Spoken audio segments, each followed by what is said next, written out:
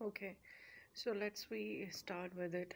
Solving how we solve a biological problem. Basically, when a researcher starts its research, there will be a question in his or her mind that oh, what what he's going to. For example, this is the question: that why people get ill during sleep out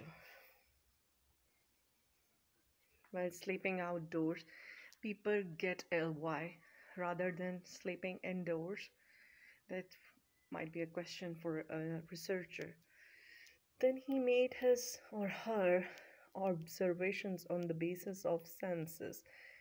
How many senses are there? Find it out.